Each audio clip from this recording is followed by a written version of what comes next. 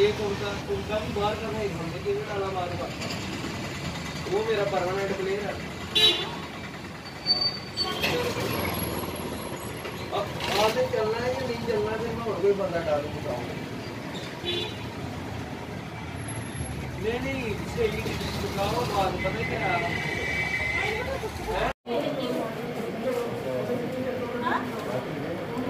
अभी चार्जेस करेंगे ना सर फिर वापस आएँगे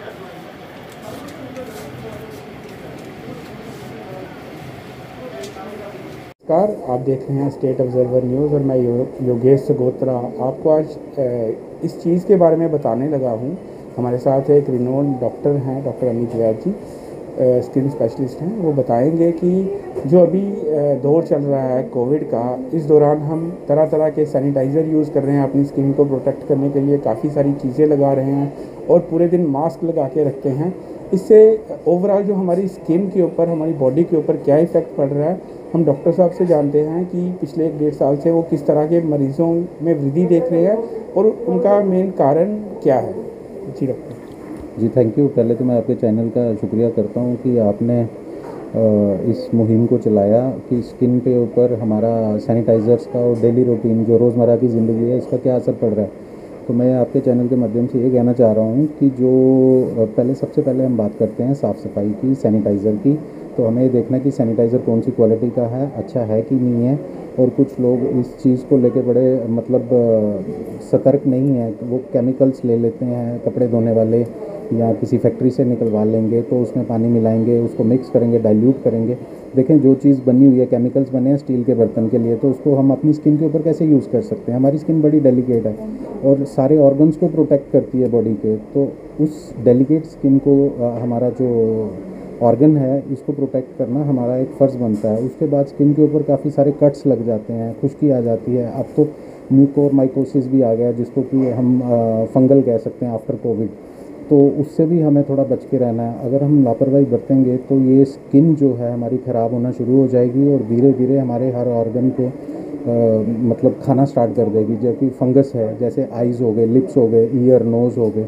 और हमें ये ख्याल रखना है कि जैसे हमने ग्लव्स पहने हैं तो कुछ भी हमें सपोज़ फॉर एग्जांपल मैं अभी आपको एक एग्जांपल देता हूँ, मुझे मास्क अपना ये इसके नीचे खुजली हो रही है तो मुझे क्या करना है? ये पकड़ के मुझे इसको यहाँ से पकड़ के नीचे करना है, बिल्कुल ऐसे करके नीचे करना है, इसको टच नहीं करना है, और दूसरे हाथ से किसी चीज़ से, साफ़ चीज़ से लेके उसको खुजली करनी है, वो हाथ मुझे टच नहीं करना।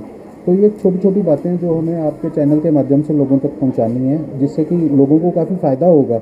और एक सोशल डिस्टेंसिंग भी मेंटेन करनी है अपना हाथों को साफ़ सफ़ाई रखनी है, बॉडी को रखना। अगर आप बाहर से आ रहे हैं तो घर में बुज़ुर्ग भी हैं बच्चे भी हैं तो उनके कांटेक्ट में नहीं आना है हमें। उनको टच नहीं करना है। पहले आप जाएँ, अपना साफ़ सफ़ाई करें तो भी एक स्किन का बहुत अच्छा मतलब रोल अदा होगा। और घर में इन्फेक्शन को लाने से भी हम बचेंगे।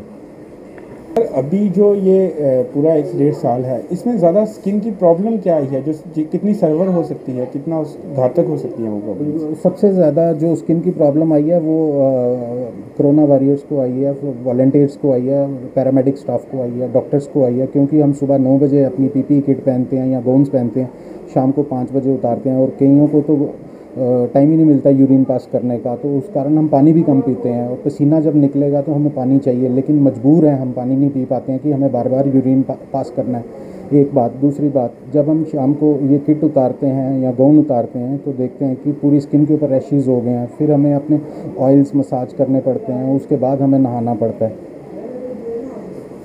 सर इस सारे दौर में आपका जनरल पब्लिक के लिए क्या मैसेज रहेगा? क्योंकि गर्मियाँ भी आ रही हैं और उसमें भी स्किन की प्रॉब्लम्स काफ़ी होती हैं। तो क्या मैसेज रहेगा आपका, हमारे चैनल के माध्यम से कि आप स्किन अपनी कैसे प्रोटेक्ट कर सके बॉडी कैसे प्रोटेक्ट कर सकें? गर्मियाँ आ नहीं रही हैं, गर्मियाँ आ चुकी हैं, अब तो बरसातें आने वाली हैं और बरसातों में फंगस ज़्यादा फैलती है। और मैं तो यही कहूँगा, ताली दो हाथ से बजती है। हमें अकेले नहीं करना है, लोगों को भी अपनी जिम्मेवारी खुद समझनी चाहिए। आवाम को अपनी जिम्मेवारी खुद समझनी है साफ़ सफ़ाई का ख्याल रखना है, अपने कपड़े, अपने टॉवल अपना सोप ये अलग रखें और किसी के साथ शेयर मत करें। No shake hands no hugs only दूर से नमस्ते। हम इंडियन लोग हैं, हम नमस्ते में बिलीव करते हैं। आपने सुना कि एक्सपर्ट्स क्या कह रहे हैं इन सैनिटाइज़र के यूज़ के लिए और जो मौसम की, का बदलाव है उसके बारे में और आप आशा करते हैं कि इसे अपने ऊपर अमल करेंगे और स्वस्थ रहेंगे, सुरक्षित रहेंगे और इस कोरोना की जंग से जीतेंगे